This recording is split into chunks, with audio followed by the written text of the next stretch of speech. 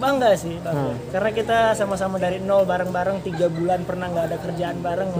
Bangga sih, bangga. Hmm. Karena kita sama-sama dari nol bareng-bareng tiga bulan pernah nggak ada kerjaan bareng. Hmm. Bareng aku, Haris, Riza, Riza Bilar nongkrong ya nggak jelas sana sini. Sekarang alhamdulillah salah satu sahabat kita ada yang terkenal banget viral bahkan bukan di Indonesia doang, Iya. sampai ke luar negeri yang dari Dubai, Hong Kong, Leslar luar biasa. Nggak pernah nyangka sih dia bisa sampai spiral ini tapi bangga sih bangga banget sama dia. Dia hebat.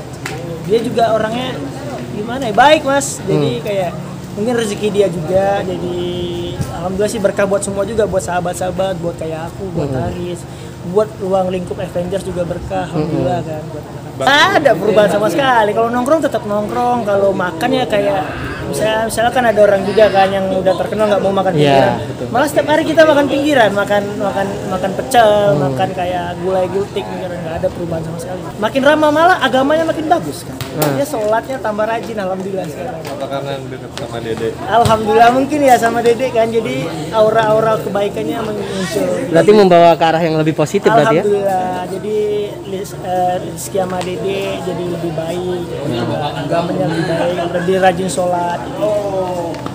Nah, tapi mereka berdua udah pacaran atau gimana sih? Mungkin Kalau pacaran atau belum lu sih, gitu. gue belum tahu ya karena nggak ada berita ofisial kalau dia udah pacaran atau enggak. Sejauh ini sih gue lihat sih hubungannya so far sih bagus ya, sering ketemu kan. Orangnya menda- menanggapi ya karena kan kata Anja itu kan udah ada dari aku SMP, Hmm.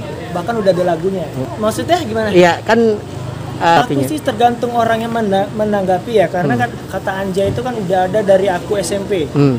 bahkan udah ada lagunya kenapa sekarang baru diungkit-ungkit kayak gitu? Ya tergantung orangnya. Kayak Mas kalau menganggap kasar ya kasar. Kalau kayak orang ngomongnya santai ya santai gitu. Tergantung orangnya aja kayak gitu nganggepinnya kenal teman main bola juga. Hmm. teman kita main bola aku pernah syuting bareng sama dia. Orangnya super baik cuman ya nggak tahu kenapa dia kayak gitu sih. Kalau aku sih nggak ada musim dia ya cuman kayak temenannya tetap temenan.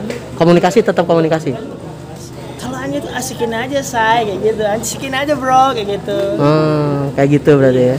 lebih enjoy gitu lah. Kayak lo lah kayak nongkrong eh gitu. Bro lebih lebih asik aja lebih gaul lah. Zaman sekarang kan anak-anak milenial sih mas. Udah kata-katanya lebih